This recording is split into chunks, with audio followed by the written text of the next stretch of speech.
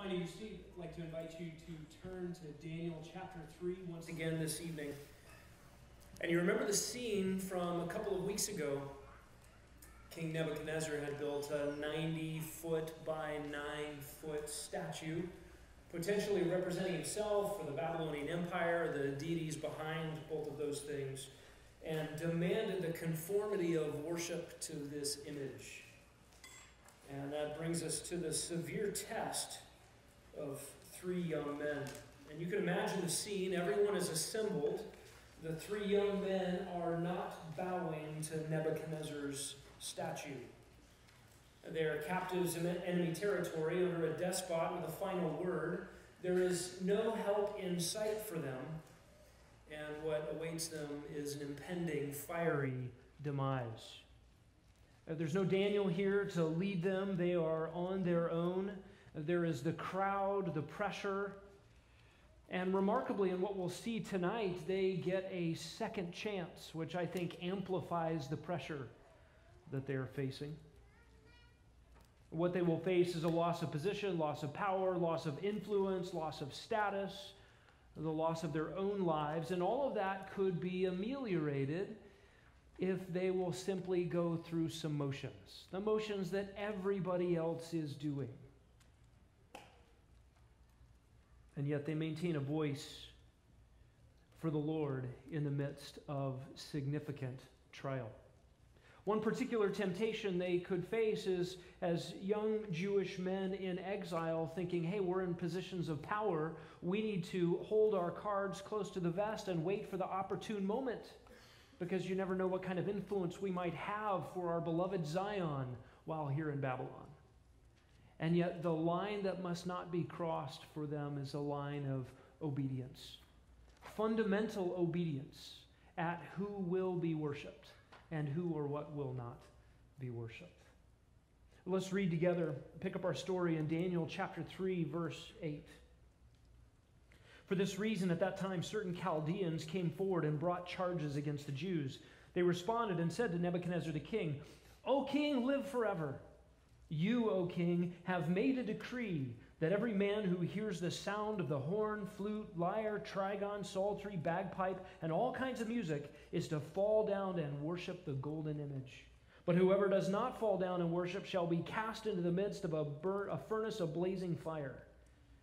There are certain Jews whom you have appointed over the administration of the province of Babylon, namely Shadrach, Meshach, and Abednego. These men, O king, have disregarded you. They do not serve your gods or worship the golden image which you have set up. Then Nebuchadnezzar, in rage and anger, gave orders to bring Shadrach, Meshach, and Abednego. These men were brought before the king. Nebuchadnezzar responded and said to them, Is it true, Shadrach, Meshach, and Abednego, that you do not serve my gods or worship the golden image that I have set up?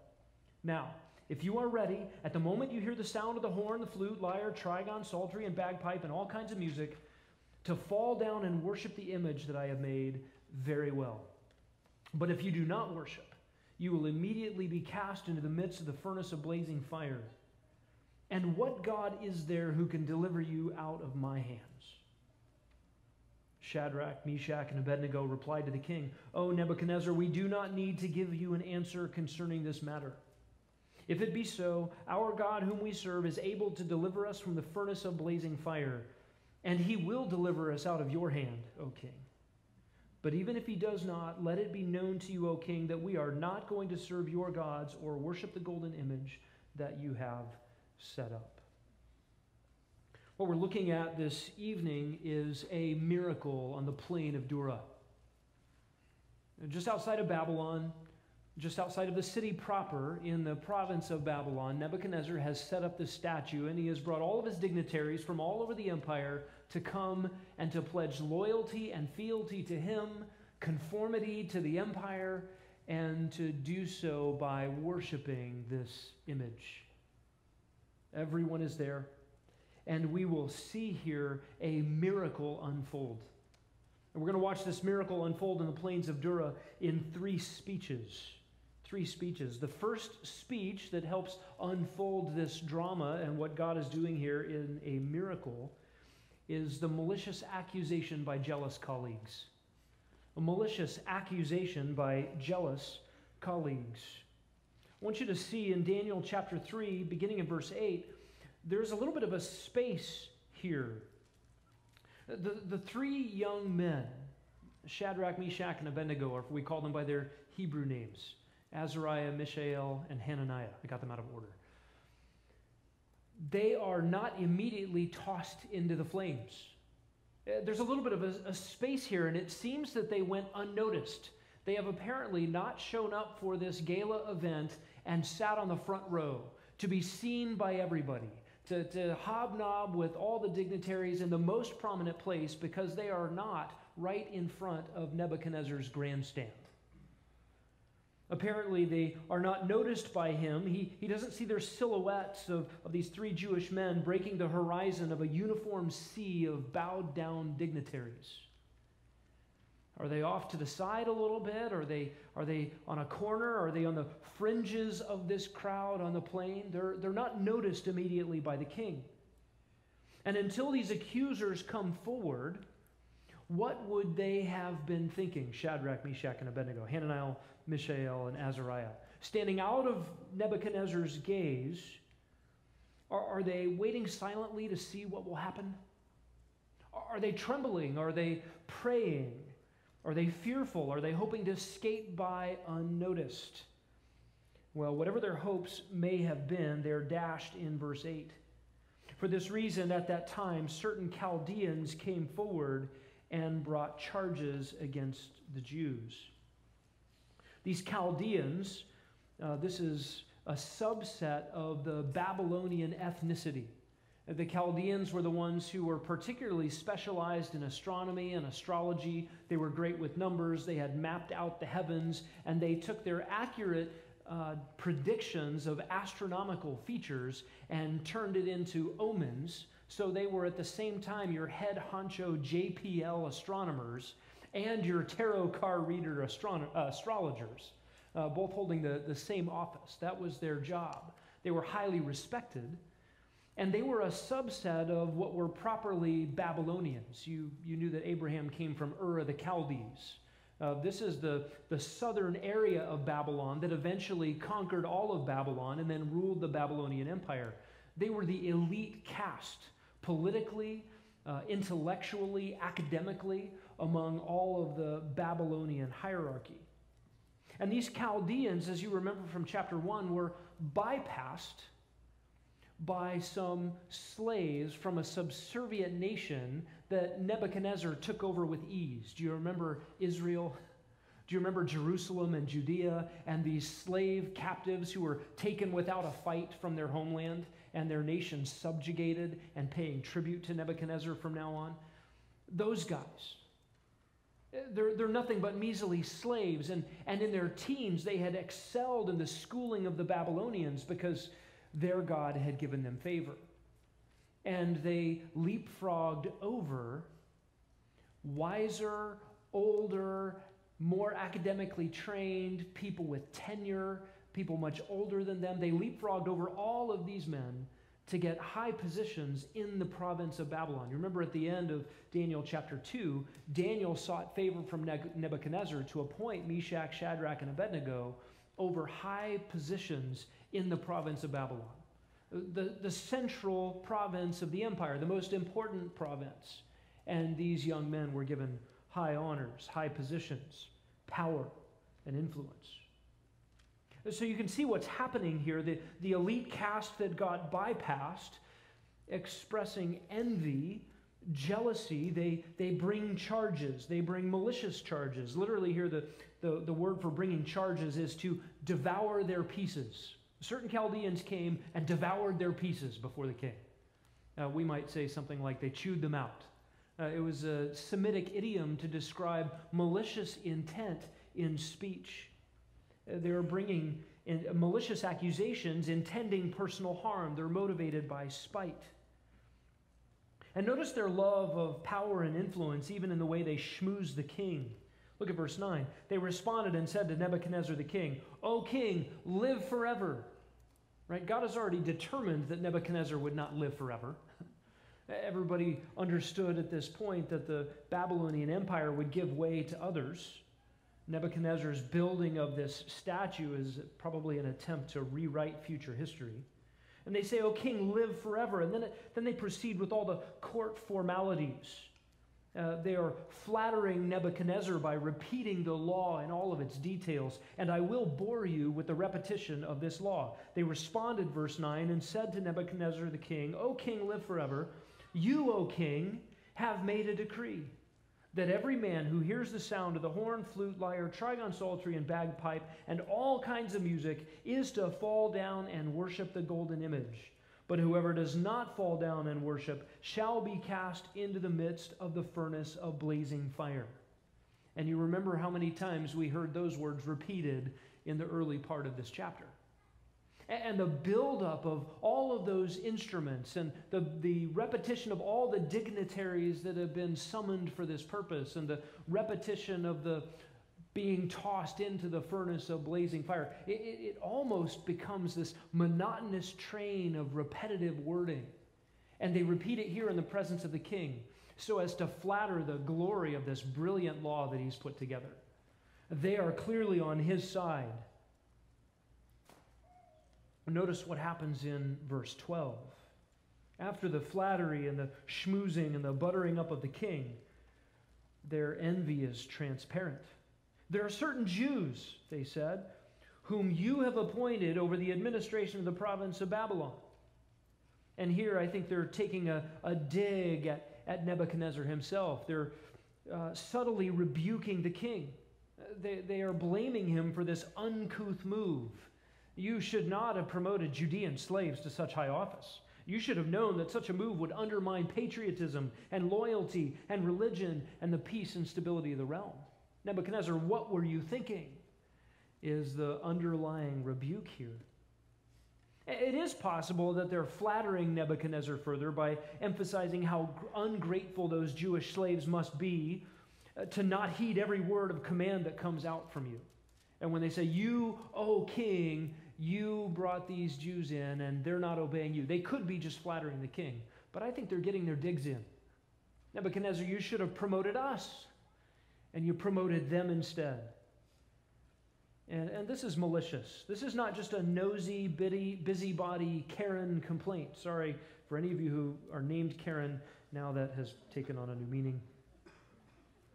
The Chaldeans want the Jewish captives slaves sacked the Chaldeans were passed over for powerful positions. They were given, their spots were given to these upstart youths, these captives from puny Judea. Never mind that the Chaldeans owed their lives to these Judean slaves. Do you remember the scene? It was Daniel and his friends who went before Yahweh and asked for the interpretation of the dream. And, and as the henchmen of Nebuchadnezzar were making the rounds, uh, assassinating, slaughtering all of the wise guys, all of the Chaldeans, all the astrologers, all the magicians. It was Daniel who spoke up and said, Don't kill them. I have the interpretation. They owe their lives to these Judean slaves, and, and they seem to have forgotten this altogether. Look, that's a good reminder for us that good deeds don't always curry favor in the face of unbelief. And I think those who follow the Lord get in trouble when they think that good deeds or somehow being liked by unbelievers has power. We give it more power than it really has. You can very quickly become a slave to wanting unbelievers to like you in order to accomplish some good end. But you have to know that when your faithfulness to Yahweh crosses unbelief, you will lose that friendship. The good deeds will be forgotten. Now, that was true in the case of these men. Uh, we ought not give more power to some sort of guarantee that, that good deeds will get us out of trouble. And I'll give you a very immature illustration of this. When I was a high schooler, I was um, I inherited a, a vehicle that um, ran on leaded gas, and I think some of the lead from the gas tank got into my foot, if you know what I mean. Um, that lead foot um, had me going faster than I should have gone in, in many instances. And, and, but, you know, being a, a good kid, going to church and leading Bible studies and leading worship for youth groups, I regularly had a Bible on the dashboard. And, and some people had the ichthus on the back of the car. I just had the Bible on the dashboard. I thought that'd be enough. You know, when I get lit up and there's all of a sudden a disco ball of blue and red lights behind me, and I've got to pull over, and some kind gentleman in a uniform is going to have give me a talking to, he's going to see the Bible on the dashboard. He's go, oh, you know what? This is a good kid. He goes to church. I'm not going to give him a ticket. You know, it never worked. and, and we get trapped into this thought that if I if I do something good over here, it's going to curry favor to get me out of a jam. Now, Shadrach, Meshach, and Abednego were not speeding. Uh, they've got clean consciences here. Uh, they're not in trouble with the government for any legitimate cause other than crossing the government's prohibitions about right worship of Yahweh. That's their crime. What's remarkable about Shadrach, Meshach, and Abednego like Daniel in chapter 6, is they're accused at the level of their loyalty to God. The Chaldeans had no other dirt on them. You remember what they said about Daniel. How will we find accusation against him unless we find it in regard to the law of his God? And that's what the three friends are up against here. This leads us to a second conversation that unfolds the miracle on the plain. The second conversation, the second speech is this urgent interrogation by an angry tyrant, beginning in verse 13. Read with me there. Then Nebuchadnezzar, in rage and anger, gave orders to bring Shadrach, Meshach, and Abednego, and these men were brought before the king. Uh, first, we see Nebuchadnezzar's anger here. Rage and anger is a kind of multiplied way to say he was really mad. And, what was he mad about? Nebuchadnezzar had been defied, he had been insulted. I mean, it's almost like he's saying, After all that I've done for you, you sorry ingrates, how dare you defy me? You're defying my generosity and my kindness. And think about how Nebuchadnezzar had set up this scene. I mean, he worked so hard to bring about conformity. And how peaceful his realm would have been if, if everyone thought like he did and just did what he said when he said to do it. I mean, he went to all the trouble. He, he collected all this gold, he, he had this statue built. Uh, this, this massive monument would have taken lots of work. It would have taken lots of planning for him to set it uh, outside of Babylon City far enough so that it wouldn't be seen during construction, but close enough for everybody to conveniently get there. And then he went to all the work of assembling all the most important people of his empire, getting them all to, I mean, the logistics involved in this thing are just massive. And then there's the music. The, the psaltery, the trigon, the lyre, the bagpipe, all those instruments and the, the coordination of all them. We're, we're not led to believe here this is just a cacophony of noise, uh, but an orchestrated musical enterprise.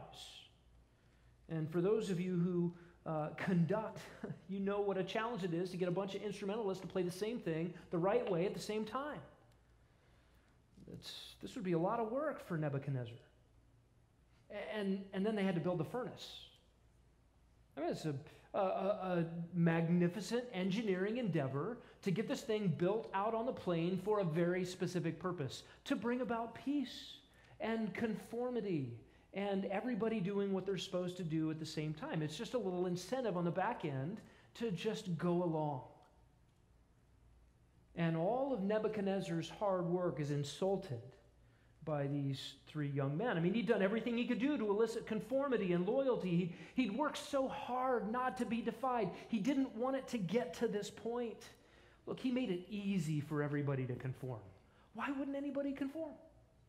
What could it possibly be inside of somebody that would make them reject the, the music when it played and, and, and the whole entourage of people and the peer pressure to conformity? What could it possibly be in the heart of three young men that would get them to not bow down when the furnace is sizzling in the background? How could someone go against his wishes? He is incredulous. He's furious. And so the summons in verse 13. He gave orders to have them brought Shadrach, Meshach, and Abednego. And then these three men were caused to be brought before the king. You have Nebuchadnezzar's query is questioning in verse 14. He responded and said to them, Is it true, Shadrach, Meshach, and Abednego, that you do not serve my gods or worship the golden image that I have set up?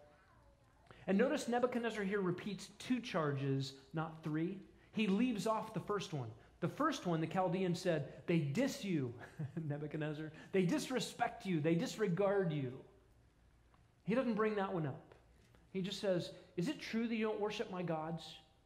And is it true that you're not bowing down to the image that I have set up? And he is interrogating them here. And then notice in verse 15, Nebuchadnezzar gives them a second chance. Now, if you are ready, if readiness is in you, literally, at the moment you hear the sound of the horn, flute, lyre, trigon, so it's like he likes saying all the names of these instruments. He's just proud of the orchestra he's put together. When you hear them all start, fall down and worship the image that I've made very well. So here's the second chance. And I don't know about you, I kind of like Nebuchadnezzar. Uh, you know, when you're reading a story and your heart sort of gravitates toward the protagonist, I mean, Nebuchadnezzar is an evil dude, but, but I, I kind of have fond affections for him. I want him to turn out good. It, it's like when you're watching a pirate movie, and you know what pirates do for a living they kill people, sink ships, and steal stuff. It's illegal. It's bad, it's evil, it's wicked, and yet you're watching a pirate movie and the pirate's the main character, and you're like, I want him to win. No, he shouldn't win. this is terrible. But my heart is drawn toward Nebuchadnezzar and I have this soft spot in me when he's given them a second chance. Man, what a nice guy. And I'm sure he thinks he's a nice guy in this. He could have just immediately tossed him into the fire. And, and he says, Is it true? And he calls them by name. That means that Hananiah, Mishael, and Azariah, renamed Shadrach, Meshach, and Abednego, must have been doing their jobs well. They must have been impressive to the king. They must have had a level of integrity and work ethic that benefited the empire. Nebuchadnezzar's impressed with them and he, and he gives them a second chance. So if there's readiness in you, when you hear the sound, fall down and worship. I mean, what kind of principle would keep you from doing that? Surely you would not choose your principles over your life. You, you wouldn't choose your principles over, over my kindness here. So, okay, orchestra, look, we're going we're gonna start up the music again, uh, cue the band, and then and now when you hear the music start, and listen, the, the orchestra is going to start their song again for three guys. And you have to be thinking, everybody else around them is going, look, we, we just bowed down. What's the big deal? Why do those guys got to stop everything? Why, why do they got to be gunk in the works?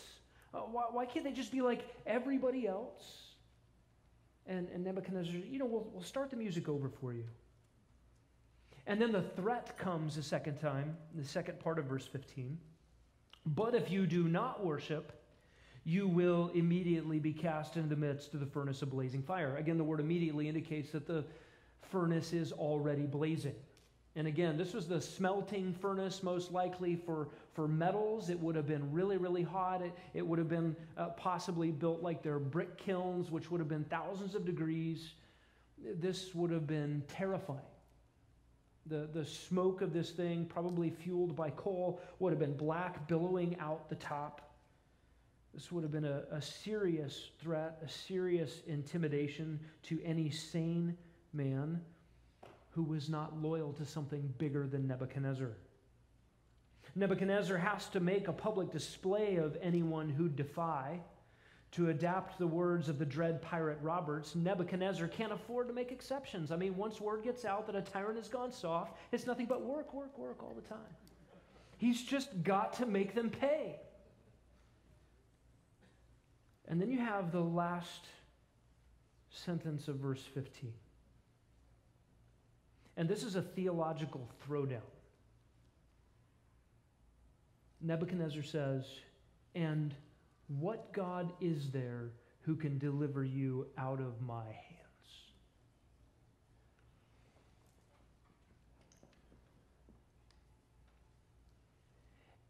And whatever you felt for Nebuchadnezzar up to this point just goes away. You say, Oh, protagonist, I kind of liked you.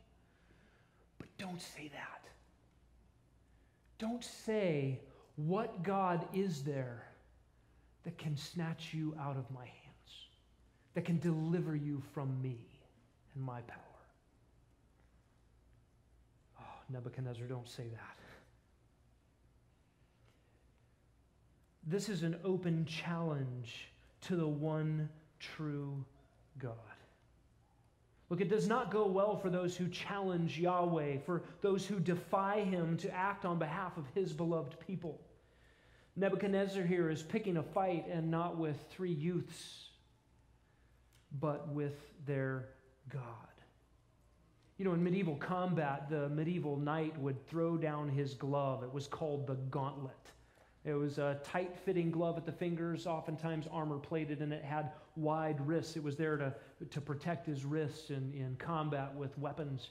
And he would take off his gauntlet and he'd throw it on the ground in front of another knight. And if the other knight picked it up, he was accepting the challenge. And here Nebuchadnezzar has thrown down the theological gauntlet. This polytheist in chapter 2 had tipped his hat to the God of Israel. But now, in saying, What God is there that can deliver you out of my hands? He is putting himself above Yahweh. And he's putting himself above every other conceivable God. All the pantheon of 50 some odd deities in the, in the Babylonian uh, polytheism. He's putting himself above all of them. What God exists, he says, that could possibly deliver you? And think about the scene. I mean, Nebuchadnezzar is stage front on his platform. The three young men have been pulled out of whatever corner they were standing in in obscurity. They've been called out by the accusers and brought front and center and interrogated by Nebuchadnezzar. He's here, the three guys are there, and the fire's right there. What could possibly interfere with Nebuchadnezzar tossing these guys into the fire?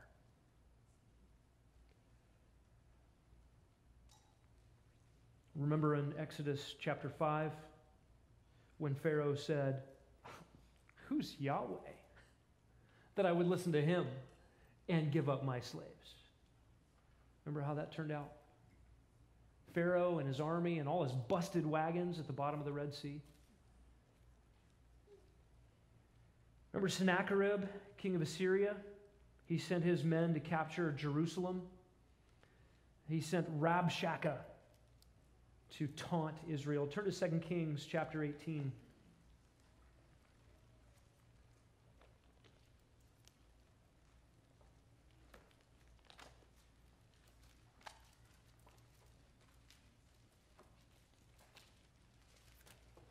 This is the Assyrian invasion of Judea. And, and you remember the setting of Daniel is the Babylonian captivity of Judea. That means the Assyrians weren't successful. Keep that in mind as we read Rabshakeh's taunt here, beginning in verse 33.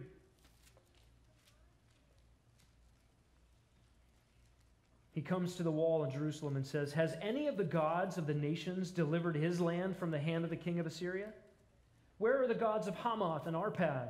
Where are the gods of Sepharvaim and Hena and Ivvah? Have they delivered Samaria from my hand? Who among all the gods of the lands have delivered their land from my hand, that Yahweh should deliver Jerusalem from my hand? And the people were silent. They'd been ordered to be silent. Turn to chapter 19, verse 32. Thus says Yahweh concerning the king of Assyria. Rabshakeh was representing the king of, of Assyria, Sennacherib. And he says, Sennacherib will not come to this city or shoot an arrow there. He will not come before it with a shield, he will not throw up a siege ramp against it. By the way that he came, by the same he will return. He will not come to this city, declares Yahweh. For I will defend this city to save it for my own sake and for my servant David's sake. Then it happened that night that the angel of Yahweh, the angel of Yahweh, uh, when you study your Christology and you find out who the angel of Yahweh is, This is striking. Who is it that sets out to protect God's people, to secure for them the blessings that he has promised? It's the second person of the Trinity, the pre incarnate Christ. And he goes out against the Assyrians, struck 185,000 in the camp. And when men rose early in the morning, behold, all of them were dead. I love that line. What'd you do this morning? Ah, woke up dead. So Sennacherib, king of Assyria, departed and returned home and lived at Nineveh, that's the capital of Assyria. It came about as he was worshiping in the house of Nisroch, his god, that Adrammelech and Sharezer killed him with a sword, and they escaped into the land of Ararat, and Esarhaddon his son became king in his place. It, it does not go well for Pharaoh, does not go well for Sennacherib and Rabshakeh, does not go well for the long history of kings who have opposed God's purpose and God's people. And here Nebuchadnezzar has aligned himself on the wrong side of history. He has thrown down the gauntlet before the God of the universe. And that challenge is picked up by three courageous young men. Here's the third conversation that unfolds the miracle on the plain. It's a costly declaration, a costly declaration from faithful servants. Let's read verse 16. Shadrach, Meshach, and Abednego replied to the king, O Nebuchadnezzar, we do not need to give you an answer concerning this matter. They do not make a defense here. There is no defense to be made. They actually are guilty of the main charge. They didn't bow down and worship the statue. Uh, there's nothing that needs to be said about that. They're not going to bow down and worship the statue. Uh, they don't need to explain themselves. They are unapologetically guilty and they are calm, collected. Look at verse 17. If it be so, that is, if we're really going to be thrown in the fire for not worshiping the image, then you need to know some things. Our God, whom we serve, is able to deliver us from the furnace of blazing fire, and he will deliver us out of your hand, O king. First of all, notice they said, Our God, whom we serve. They are servants. The same word, servant, slave. They describe their loyalties here as service to Yahweh, service to God. Slavery is a human condition, by the way. All of us are born slaves of sin. Jesus said, if you sin, you're a slave of sin by definition. Uh, that's just who we are. That's how we're born. And if you are freed from slavery to sin, Romans chapter 6, you are thereby made slaves of Christ. Right? Everyone's a slave. Uh, the question is, who is your master? Will you serve a master that seeks to destroy you, to kill you, to make promises that can never be kept, and to fool you in the end with eternal destruction? Or will you serve a master who considered himself the servant of men in coming and laying down his life on behalf of those whom he loved?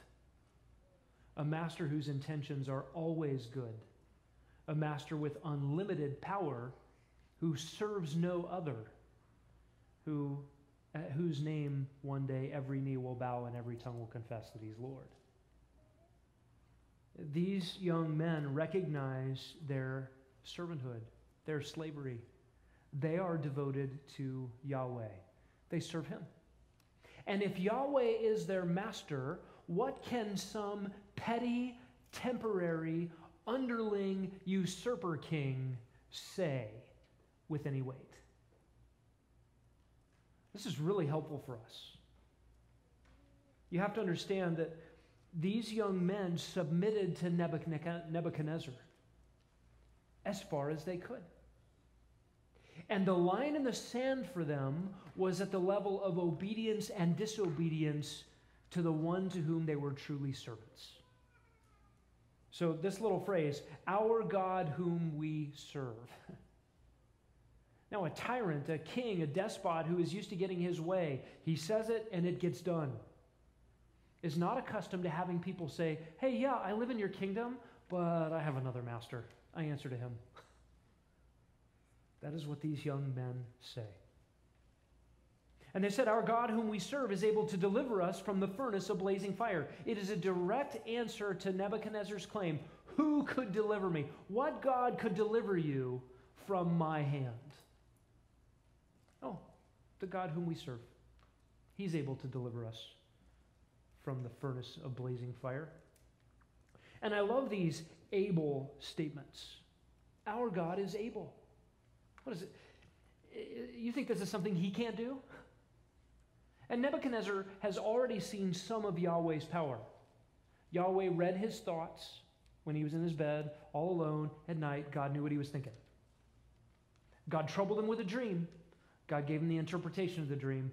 God did things in Nebuchadnezzar's presence graciously, kindly, that no one else could do.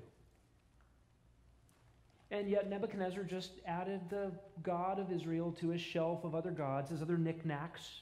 And in the end, when it came down to it, in Nebuchadnezzar's mind, who is God? Nebuchadnezzar. Higher than any deity in his own mind. And yet we have these statements about what God is able to do. God is able to do to overcome Nebuchadnezzar's little tyrannical power. Listen to these able statements from Scripture. Hebrews 7:25 God is able to save to the uttermost those who come to God by Christ. Jude 24 God is able to keep you from stumbling and to present you faultless in his presence, blameless with great joy. Ephesians 3:20 God is able to do exceedingly abundantly beyond all we ask or even think. 1 Timothy 1:12 God is able to keep that which I have entrusted to him unto that day. Philippians 3:21 God is able to bring all things into subjection to himself. All things. Every enemy will bow the knee and confess with the tongue that he is Lord. And, and notice what the young men say next.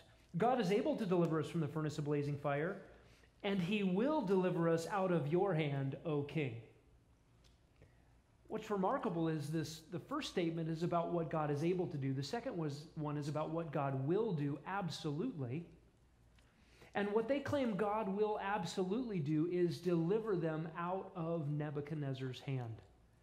And you know how God might do that? Through martyrdom. If they die as martyrs, guess who's not in charge of them anymore in an earthly sense? Nebuchadnezzar. It's like our old slavery to sin. Eh, you know, the, the union with Christ in Romans 6 is a union with his death. We were therefore buried with Christ into his death and raised unto new life. That fundamentally changes your relationship to sin. If you were a slave of sin and you die, the old slave master can't tell you what to do anymore. He doesn't have authority. Well, that old slave master will usurp and try to tell you what to do. And so the command in Romans 6 is don't give your implements to that old slave master as weapons of unrighteousness, but present yourself before your new king. But he has no authority. Nebuchadnezzar has no authority over a dead Shadrach. And what happens to them if God delivers them out of Nebuchadnezzar's hand through the fire, through martyrdom? This is their eternal perspective. Then the exile is done for them. They are safely home. They're at rest. Look at verse 18. But even if he does not, and this picks up the first part of verse 17, if, even if God does not deliver us from the furnace of blazing fire, let it be known to you, O king. You, you need to know something. And let's look at this first half of this phrase in verse 18. They are affirming God is able to preserve them. They don't doubt God's power, but they also do not presume on God's plan. Verse 17 was confidence and truth about God. He's able. He's able to get us out of the fire. And verse 18 is submission to the will of God. If he does not, God's will for them might be different than what they desire. Comfortable outcomes are not always God's plan for his precious ones under trials. There have been many martyrs in Scripture throughout church history. Listen, they don't know, they cannot know if it would be good for them to survive or to be killed. God knows what is best. Are we tempted to complain at times as a response to God's answers to our prayers? God, get me through this trial. Um, we're often praying, God, get me out of this trial. We're, we're not often prone to pray, God, let me get from this trial what you intend. Get me from this trial. and what if God knows better? To, to sustain us in a trial. And Shadrach, Meshach, and Abednego, they don't know what God's will is. They know what God is able to do. They don't presume upon what God will do. This is worship. This is resolute faith. The obedience of these three young men was not contingent on a favorable outcome. Notice, they say, Let it be known to you, O king, that we are not going to serve your gods, and we are not going to worship the golden image you set up. Um, by the way, they are unmasking idolatry here.